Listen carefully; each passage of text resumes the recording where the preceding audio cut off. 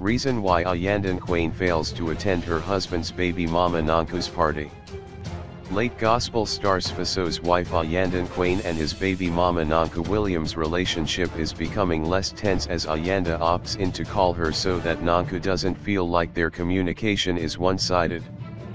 As nice as she is, Ayanda asks about the launch and further apologizes once again for not being available at the launch. Ayanda says she was not feeling good and was drained emotionally so she did not go because she feels it would not have been good for Nonku and the environment as well because it was a place of celebration. However, Nonku steps on fire when she offers Ayanda her wine, I can't wait for you to test my wine, I know you would like it, says Nonku. The believer in Ayanda simply smiled and said I cannot wait to see. In the commentary, Ayanda said, I don't drink Nonku, I don't drink Lala.